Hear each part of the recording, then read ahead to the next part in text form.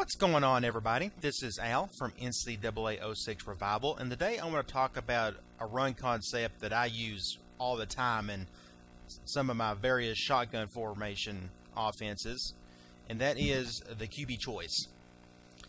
It's an option play, but you can treat it as a power play, and it's just very effective. And if you run any type of shotgun oriented offense and you run the ball at least a little bit, I suggest you treat this as your foundational run play. So I want to go over the concept from various formations. I want to run from the wide trips, trips over, spread, and shotgun trips. You've if you have these formations in your playbook and you like to run the ball out of the gun, but you got to run QB choice. And this is what I'm going to show you. So let's just start with the shotgun wide trips. We'll click QB choice. We'll just go up against nickel, and that's what you'll normally go up against from wide trips. We'll just do random formation. And when it comes to the play, it doesn't really matter where you're running from as far as which hash. I mean, it's effective all over the field. But for this sake, we'll just start on the right hash. Just gives us a little more room to work with. Uh, so much grass on the left side. With this play, once you snap the ball, you have the option to give to your running back or keep it. And that simply means just holding the X button, or I think it's A on the Xbox control. I'm not really sure. But if you hold the the X button, it'll give it to your running back. Now, nine times out of ten, I always give it to my running back. I will show you a couple instances where you might have to keep it with your quarterback. The only thing you really need to know here is that your right tackle, in this case, I didn't flip the play, so in its initial setup, the right tackle will pull for you. If you stay behind him and let him block his initial man, you should be able to make decent yardage. The only other thing you need to know is to not abuse the speed button.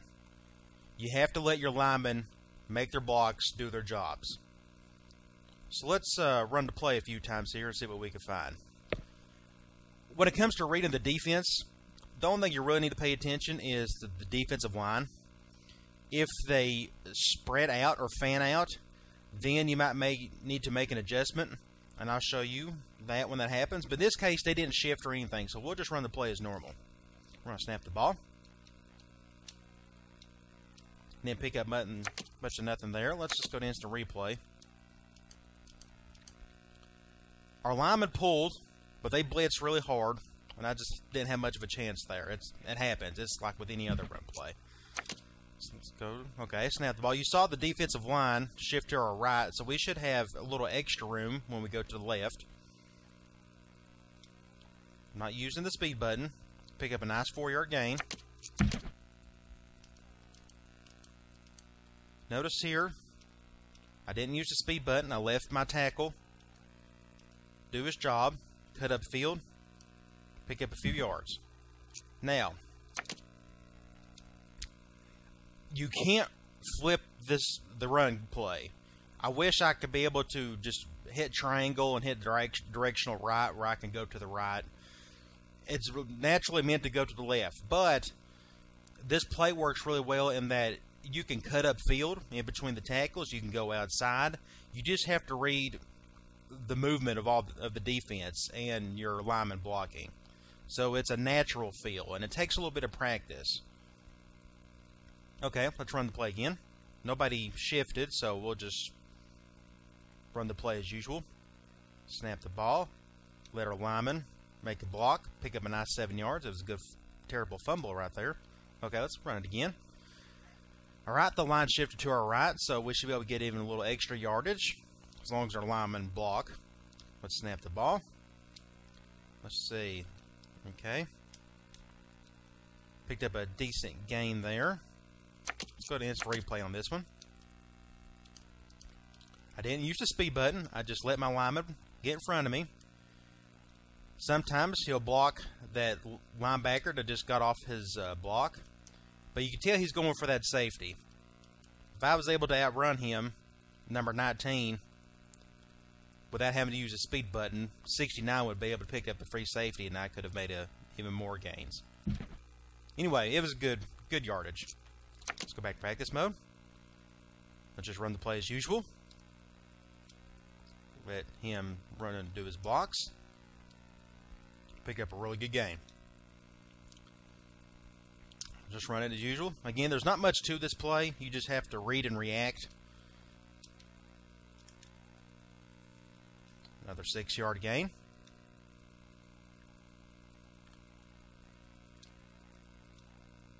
Notice there, I went between the tackles. Sometimes you have to. And what's funny is with the QB choice, you would normally think that it's meant to go outside and it's super hard to go in between the tackles, but you'll see some gaping holes sometimes. And it's weird that you'll see more holes between the tackles out of a gun run play than from under center. But, okay, let's run it again. Okay, everybody shifted to the right. We should be able to get really good yardage. Now, I'm going to keep it with my quarterback what I like to do if I want to keep it with my quarterback is I if you notice the play or the play art, the quarterback is technically meant to go to the right while the running back is supposed to go to the left. I actually like to do it the opposite.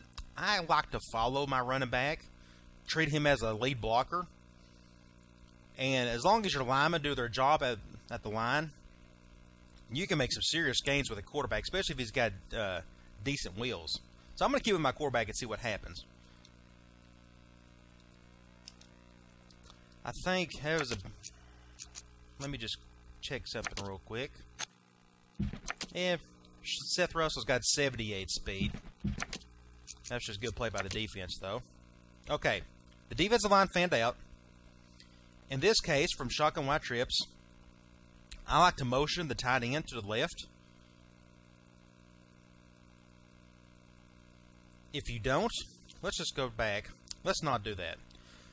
Let's run the play as usual, and let me show you why I like to motion the tight end over. Normally, the defensive end on the left side is really good about getting to your running back regardless. So let's just run the play. See what happens there. The end, he just swarms it. So let's see if we come across. Okay, the defensive line is just going to stay, so let's just run the play as usual. Picked up a few yards. Run it again. Not much there. Run it again. Oh, and by the way, the defense is pretty talented for Texas. So, there we go. We get a decent little gain here again, a lot of it's just blocking by the line. If they do their job, then you can make some serious gains. Okay, let's run the play. Notice. Oh, nice. Six points. This is perfect example of why I don't use the speed button a lot. Let's go back to instant replay. Snap the ball. Okay, I'm not using the speed button. I got my right tackle in front of me, ready to knock somebody down. And during this entire play, I did not use the speed button until right there.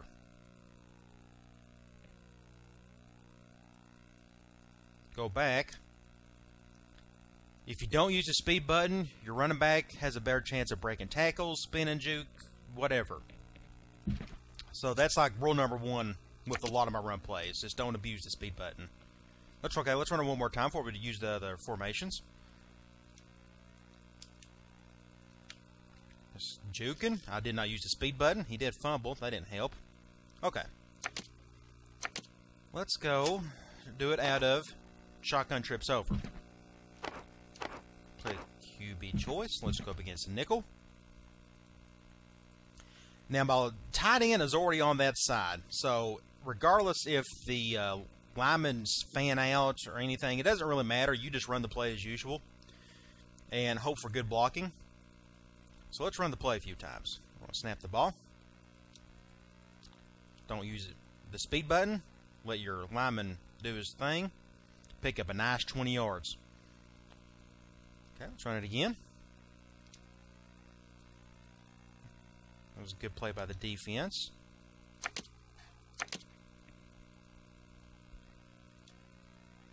There we go. Yeah, if you let your lineman block, especially your pull and your tackle, then you can use the speed button afterwards. Okay. Run the play. Good block by all my linemen. Look at that. Can't beat that. Six points. Let's go to instant replay. Look at that. Pull and tackle. Makes an excellent block. My tight end makes a good block. Over here. And all I have left is my left tackle getting ready to destroy that free safety. Just let him make his block, and then you're off to the races. Trying it again. Again, I'm not even paying attention if it's man or zone. It's, like I said, it doesn't really matter. You just you have to follow your blocks anyways. Another six points. Just the way this formation is set up, you can run this play very effectively out of trips over. Now they're in zone. You can see the there's a left corner over there, but I'm still going to just run my play as usual. Just follow your blocks. Didn't pick up much there. Okay, they've fanned out. You shouldn't have to do much of anything here. Just run your play as usual and don't use the speed button. Bounce off your linemen, wait for their blocks, and try to make a play. Try it again.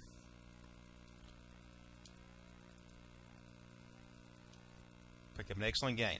Okay, let's run it one more time.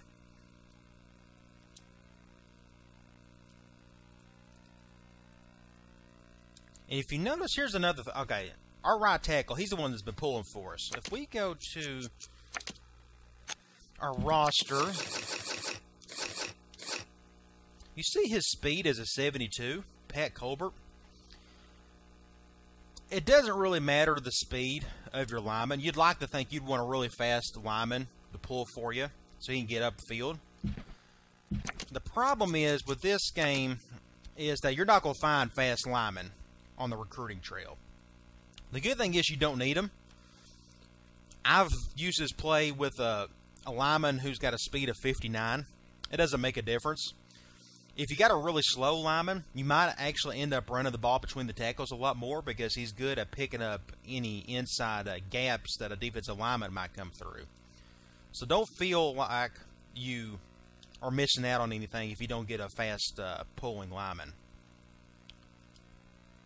Let's run this one last time. Picked up a really good gain, didn't use the speed button. Okay. Let's quickly do it out of the spread here. Well, let's stick in the nickel. Let's make it a little bit harder on us. You'll see some nickel against your uh, shotgun spread. Okay, don't need to really know anything here. Now, you don't have a tight end to motion if you need to. If they fan out, you just run the play like usual. Picked up a nice five-yard gain. Run it again. Now they fanned out. Let's hope for the best here. Just bad play there. There's, they fanned out. There's not much you can do.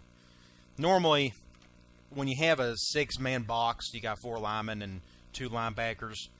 You normally would audible to a pass play or something, but sometimes you can make good gains like this against a six-man box, and it won't make a difference.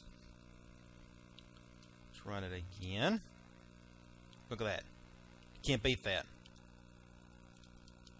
Now let's do it out of the shotgun trips. QB choice. We can do that a nickel. Everybody's kind of shifting to the right, so we should pretty get a decent gain as long as my linemen do their job. Just let him get in front of him and just pick up a nice 18-yard gain. Let's run it again.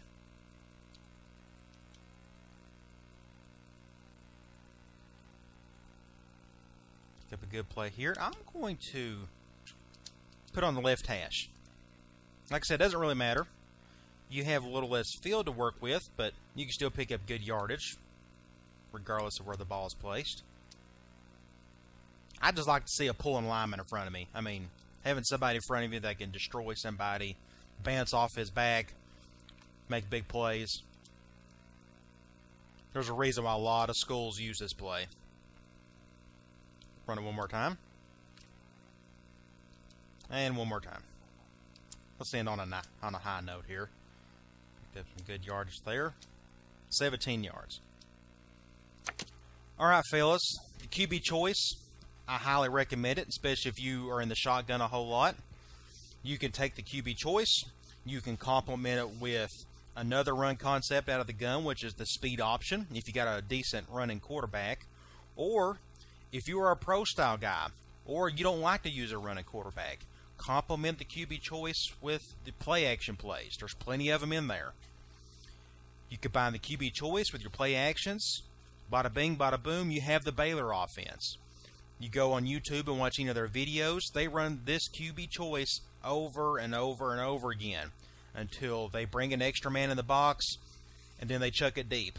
It's very doable in NCAA 06. But regardless of the type of offense, if you're in the shotgun, use the QB choice. You don't need a running quarterback. You just need linemen who can do their jobs. All right, fellas, hopefully this was helpful. Use it, abuse it, have fun with it. Talk to you later.